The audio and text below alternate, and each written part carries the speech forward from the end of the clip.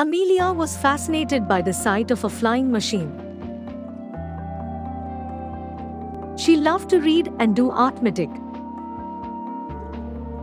In 1908, when Amelia was 11 years old, her father took her to an air show in Omaha, Nebraska, where she saw her first airplane.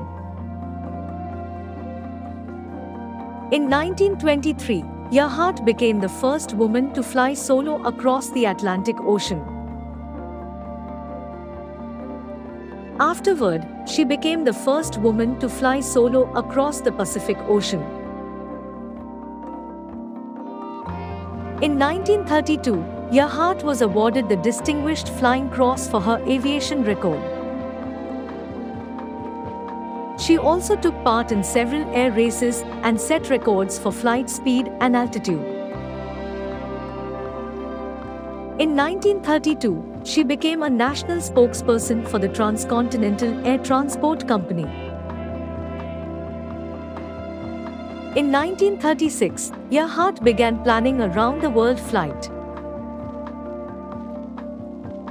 She was accompanied by navigator Fred Noonan. The pair took off from Oakland, California on 1st June.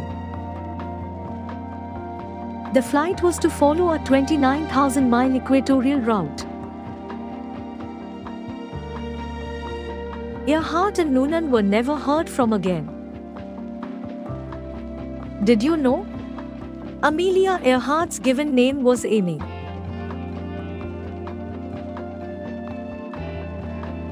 Hope you loved this video. Don't forget to subscribe our channel.